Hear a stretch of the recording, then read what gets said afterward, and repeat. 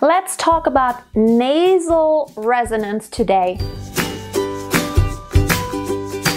Hi and welcome to today's video. My name is Freya Casey if you don't know me yet and I'm a vocal coach and professional singer from Germany. Nasal resonance has a bad connotation although we actually definitely sometimes need it or couldn't actually sing without nasal sounds. Mm, mm, mm. These are all nasal sounds very naturally. So depending on whether you are singing an open vowel or a nasal sound that is naturally just because in the language it is that way, it can only come through your nose, it makes a big difference. So let's talk about the nasal sounds. There's a big difference between making a nasal sound sound very closed and tight and tense or actually nice and resonant. Yes, you can make nasal sounds sound resonant. For example, look at an M, like Mm. Of course, your lips are closed, which means the air that you exhale as you are singing that pitch or singing pitches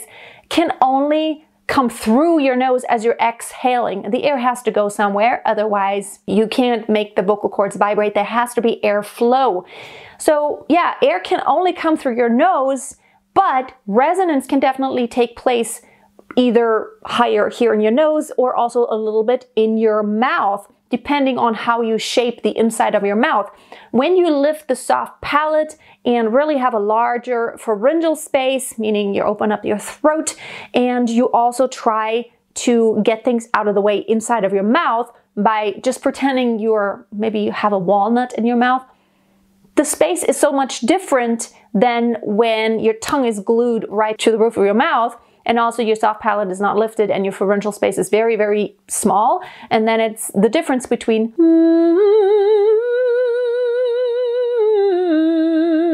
and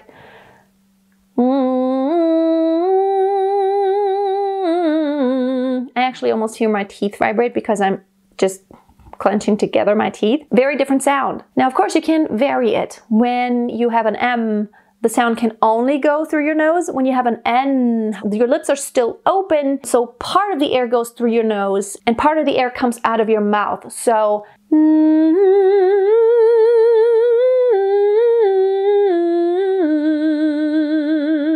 I left, I did put my tongue up right behind my teeth on my hard palate, but I kept my pharyngeal space and my soft palate lifted to where I actually have more space.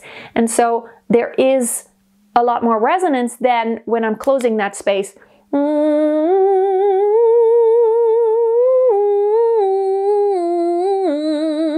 And then it actually sounds nasal. You can check where the air comes out and how much space you still have back here in your pharynx by pinching your nose. Let's go to the vowel. So the most open vowel, of course, is an ah. Since your mouth is all the way opened, there's not any tongue blocking. It shouldn't be. Most of the air comes through your mouth. However, if your soft palate is not lifted a lot and if your pharyngeal space back in your throat is very, very small, there is a lot more coming out your nose than when you're opening up those spaces a lot more. When you actually have a cold, the non-nasal sounds like the open vowels, if you avoid the nasality by opening more spaces, a open vowel should not change sound like yeah.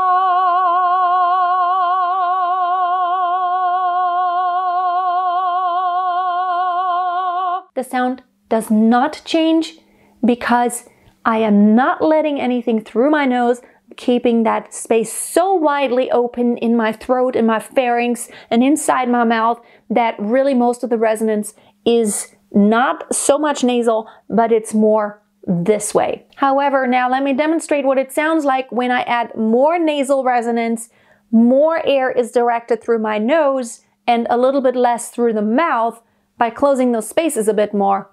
Don't lift the soft palate and just kind of keep the pharyngeal space smaller. Yeah.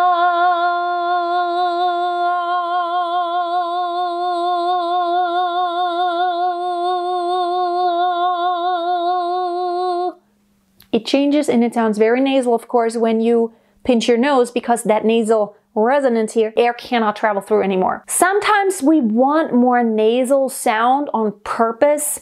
When I want more twang, more twang. When I want more twang. Sometimes I want more twang.